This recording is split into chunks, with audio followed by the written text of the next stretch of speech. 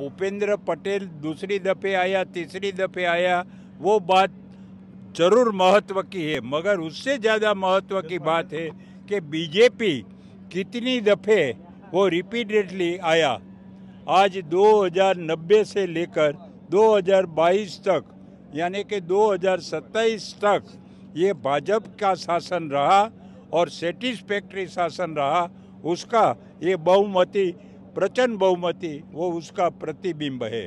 आप किस तरह से देखते हैं बीजेपी की आगे रूल 2024 के लिए भी?